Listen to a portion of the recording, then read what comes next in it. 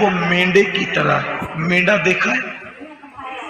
मौत की शक्ल मेंढे की तरह है। मेंढा नहीं है, लेकिन मेंढे की तरह है। और उसका एक हाथ अर्श के नीचे है और दूसरा हाथ उसका तहतुसरा में है। और एक मशरक की जानिब है और एक मगरब की जानिब। हर इंसान की मौत उसको तीन मरतबा एक दिन में देखती है। हज़रत मलकुल मौत हर इंसान का चेहरा एक दिन में तीन मरतबा देखते हैं। जब तक इंसान का रिस्क खाना, पानी बाकी रहता है, तब तक इंसान जीता है।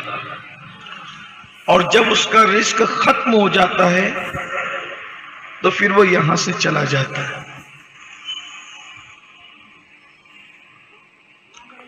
रूह के कब्ज करने की ज़िम्मेदारी हज़रत इसराइल की जिन्हें हम मलकुल मौत कहते हैं, मौत का फरिश्ता कहते हैं। जब इसराइल किसी की रूह निकालते हैं तो लोग रोते हैं तो मैयत के घर के दरवाजे को पकड़ कर कहते हैं कि मैंने कोई जुल्म नहीं किया, मैंने कोई कसूर नहीं किया। न मैंने तुम्हारी मैयत के हिस्से का खाना खाया, ना तुम्हारे हिस्से का कुछ खाया। वो तो खाते पीते ही नहीं है।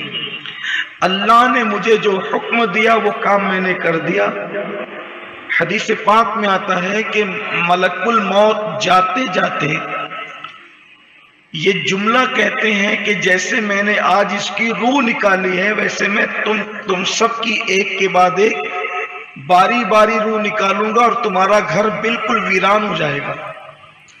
आकाए करीम वसल्लम फरमाते हैं कि अगर हज़रत मलकुल मौत की गुफ्तगु इंसान सुन लेता तो मैयत पर रोने की बजाय वो अपने आप पर रोता।